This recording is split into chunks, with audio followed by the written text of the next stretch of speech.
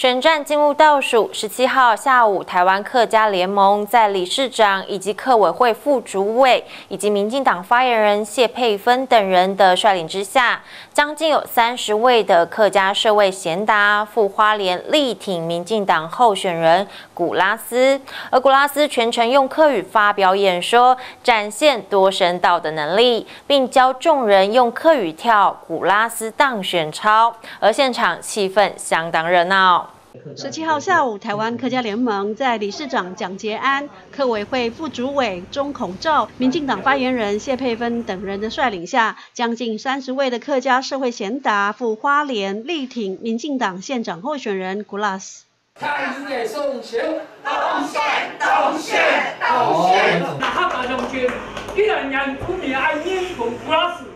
那那客家乡亲，马。莫放弃咱那客家人的团结中央精神，他把树砍树，新连心，团结起来，支持三毛的官司，安了么？好，东南人的客家关山欢么？好，再一次感谢咱的蔡国文迷弟，啊，拜托奶奶八年的客家将军。古拉斯全程用客语发表演说，并宣布要当一个多元族群的县长，会把花莲打造成为尊重多元文化的环境，让客语成为全县畅行无阻的重要语言。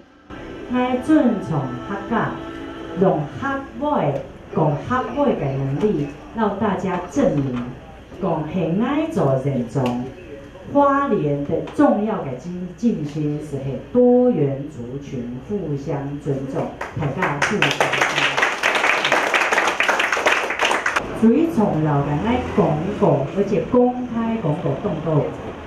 是那讲我要让花莲成为一个公业主民的会，让他会都可以通行无阻无障碍。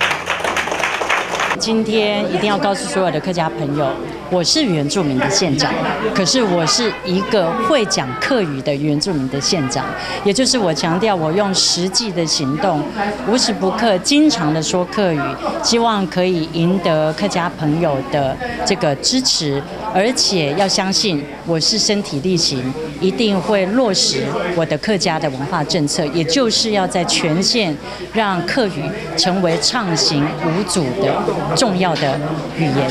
理事长蒋捷安代表联盟送上了一件台湾客家联盟的夹克，还将三亿乡亲的支持红包一并交给了古拉斯，希望全台湾的客家乡亲都要打电话给住在花莲的亲友，十一月二十六号票投三号古拉斯翻转花莲当选县长。